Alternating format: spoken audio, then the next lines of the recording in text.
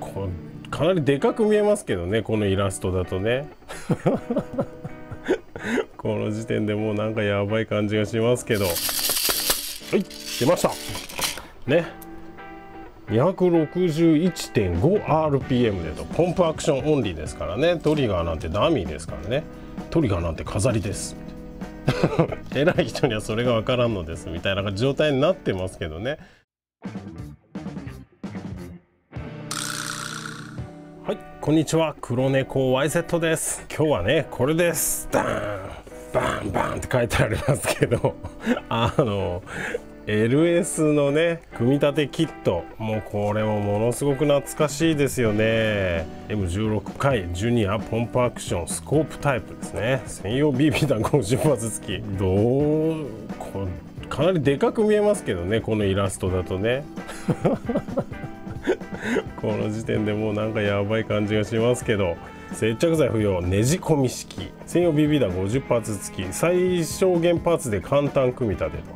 単発発射でグルーピング最高。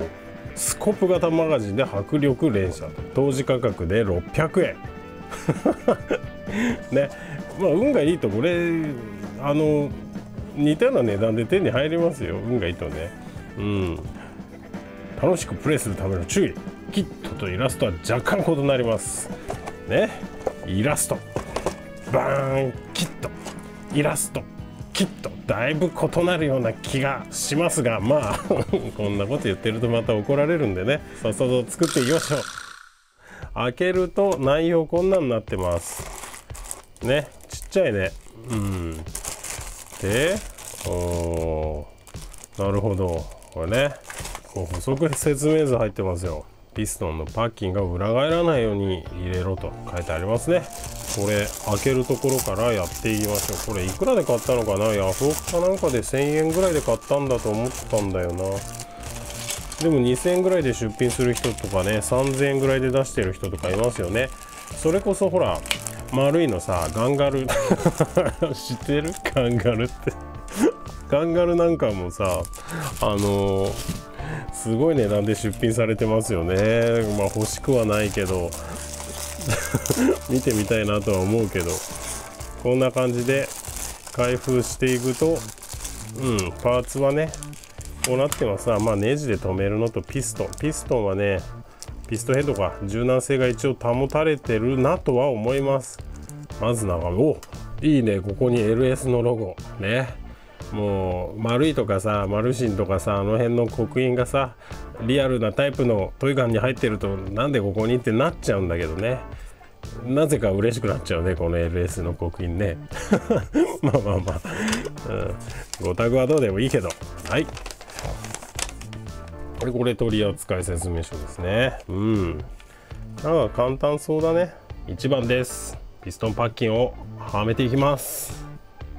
はめます。はまったかな。1番終わりです。2番。シリンダーにねこいつを入れていきます。事前にグリスアップ済みです。あまあまあなんとか入った。いいね。こんな感じです。2番終わり。次3番。なんだこれは。これがバレるってことね。テーパーがついてる方をノズルが差し込む側にこうはめなさいよと。こういうことだね。うん。3番終わり。よし、はい、じゃあね4番やっていきます。ビス2本で止めていくんだね。こっち側だね。に抜けてるのがここのビス穴のダボを通るのか。こんな感じ。このシリンダーにはね上下はないようでした。うんね。これかバレルインナーバレルだね。ちょ短いねやっぱりね。3センチぐらい。まあ一応バレルパッキンチャンバーパッキンみたいなものが入ってますよってことか。なるほど。こういうことか。えー、それでこれはもうトリガーとかは一切ないですね。トリガー入んないもんね指、こういう感じね。まずこのフォアグリップっていうものに閉じてねねビスで止めていくんだけどビスで止めるっていうことをねねじ込み式って書いてるあたりねもう昭和な感じがするな嬉しいな。僕ねこういうキット安いキットね1000円とかで買えるさ、まあ、ミニ四駆とかもそうだけどミニ四駆もあれ1台600円だったよね確かね。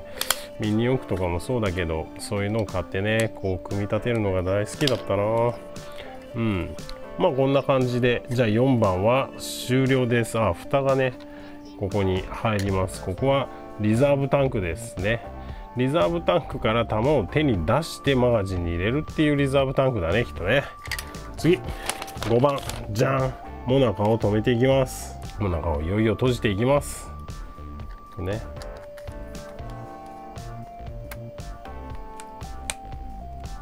はい。ね。6番終わりました、うん、ちゃんと飛ぶのかちょっともう心配になっちゃいますけどね。バレルっていうのハイダーっていうの。はめ込むって書いてあるんでね。はめ込んでいきます。パチッとね。ああはまった。スコープマガジン。これ。ね。パシッと。でこれをはめ込みますと。ああなるほど。これで閉まっててこれで開いてるってこと？え。ー、できた。これで完成。ね。スコープのカタカタ感もなくなったと。よし。うん。おおいいね。これでもちゃんとコルトの刻印入ってるよ。コルト AR15 って。無事完成しました。出来上がりです。完成したんでちょっとねあの性能をチェックしていきましょう。まずは重量ですね。はい。125g125g ですね。お子様にも優しい設計になってます。で動作音量ですね。やってみましょう。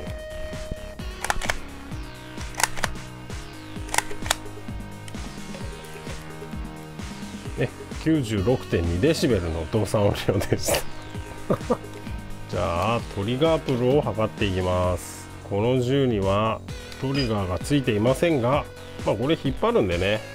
あのポンプアクションプルですかね。ポンプアクションプル測っていきましょう。引き切るまでにはい。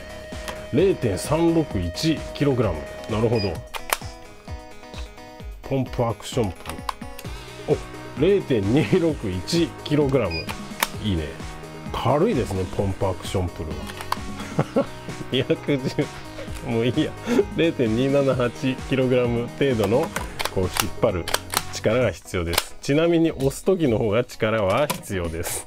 ですね。初速を測っていきましょう。外気温は27.6度、えー、マガジンの温度は28.9度。僕の表面温度は33.4度になってます。いいのかな？まあ僕の表面温度は33.4度ですね。BB 弾は東京マルイのね 0.12g 乳銀弾を入れてありますね。弾出んのかな？打ってみよう。あ出るね。出るんだわこれ。でまあ出なかったらまずいよね。よし打っていきます。おお9.8 マジで。9.85しか出ないの。ちょっと待って。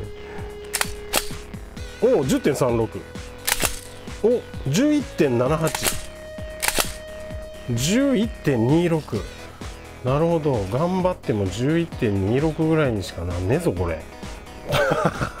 じゃあですねこのままサイクルも測っていきます。はい、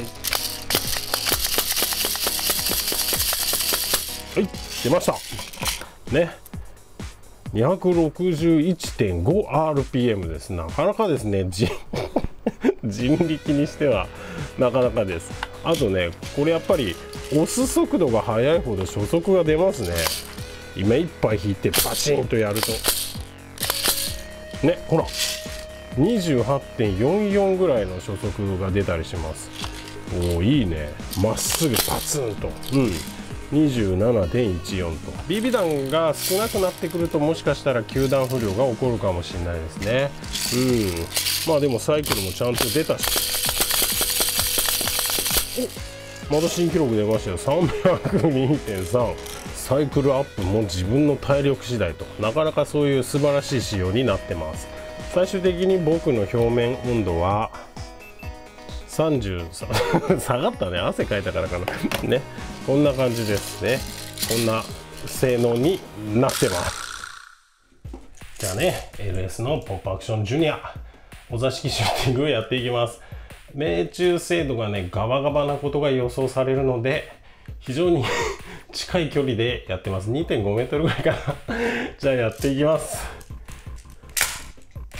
お結構飛ぶんだね。おいいね。おなるほど。当たる。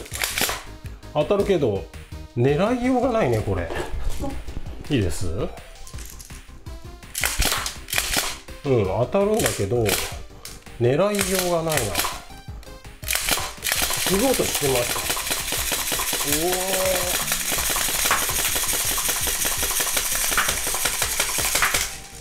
頑張れば頑張るほど当たります。で汗が噴き出してきます。こんな状態になってますね頑張りに応じて弾幕を貼れると。そういう仕様ですね。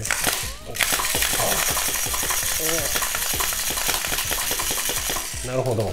ちょっとね球が少なくなってくると球団不良気味かなと。こんな感じで。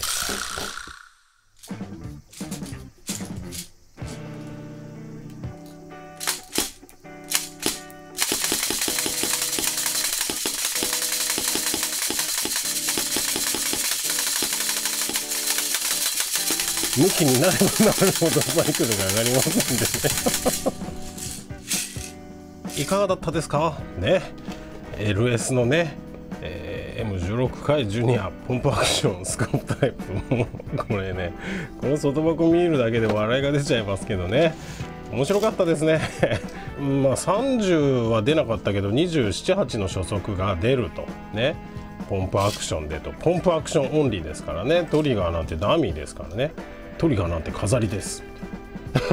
偉い人にはそれが分からんのですみたいな状態になってますけどね。一応なんとか僕の人差し指が入る程度の穴は開いてますけどね。まあトリガーなんて飾りですよ。であのサイクルはね300ちょっとのサイクルが出たんだっけ。あの打つ人の頑張りに応じたサイクルが出ますんでこれはね。真夏とかね何のトレーニングやってんだろうみたいな感じになりますがね額から汗を噴き出しつつ一生懸命ね向きになればなるほどサイクルが上がりますんでね。面白いなこれ。これね俺でも子供の頃これ買った記憶があるんだよな。うん。で面白くなくてさすぐ飽きちゃったんだけど今こうやって遊んでみると面白いよね。まあこれで何かやろうとは思わないけどさ。よくできてんだよなこういうとこ。モールドだけどさスコープのねマウントの。造形とかねここまで凝らなくてもいいんじゃないのとは思っちゃうけどでも結構よくできてますよ。うん。そんな感じですね。うん。まあ面白かったです。かなり汗だくになりましたけど今時期が時期なんでね。うん。ということでね、うん、今日の動画もこれでおしまいにしようと思います。またね別な動画で会いましょう。打つべし打つべし打つべし。汗だくになるよフルオート